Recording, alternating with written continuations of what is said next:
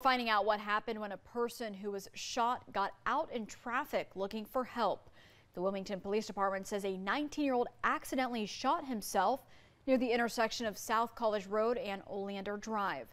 WPD says he was riding in a car when his gun went off and the bullet hit his thigh. We're told he panicked and got out of the car and asked a nearby driver for help. No one's been charged.